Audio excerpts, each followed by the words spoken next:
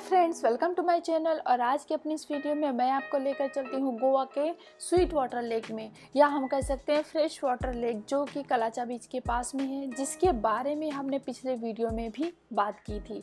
तो ये वही है स्वीट वाटर लेक जिसमें मैं आपको लेकर जाने वाली थी, या मैं जिसके बारे में आपको बताने वाली थी।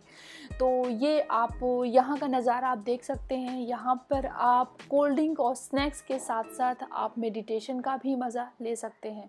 ये बहुत ही सुकून वाली जगह है, ये ठंडा ठंडा पानी है और अगर आप गर्म रेत से होकर यहाँ पर जाते हैं तो उसका मज़ा कुछ अलग ही रहता है। तो जब भी आप गोवा जाएँ तो स्वीट वाटर लेक जाना बिल्कुल मत भूलें, क्योंकि ये just near by the कलाचा beach. कहा जाता है कि इस स्वीट वाटर लेक का नाम जो था, वो वॉक कोलम था। लेकिन लोगों ने इसकी ब्यूटी को देखते हुए, इसके नज़ारे को देखते हुए इसका नाम निक नेम रख दिया स्वीट वाटर लेक। ये पूरी लेक, पहाड़ियों पेड़ पौधों नारियल के पेड़ों, इन सबसे घिरी हुई है और इसका नज़ारा बहुत ही अच्छा है।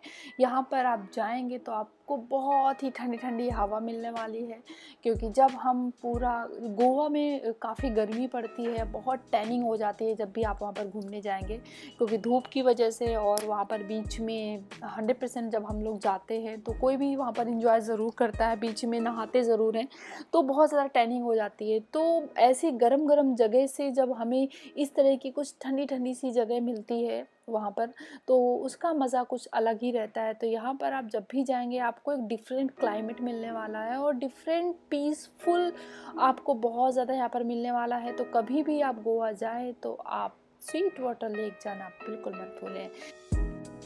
तो दोस्तों इन्जॉय कीजिए आप स्वीट वाटर लेक का और मैं आपको फिर से मिलती हूँ अपने नए वीडियो में।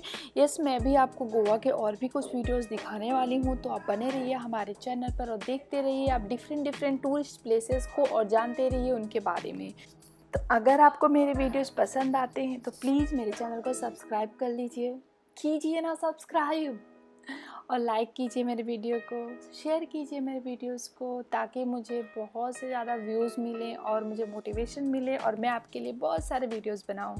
चलिए बाय बाय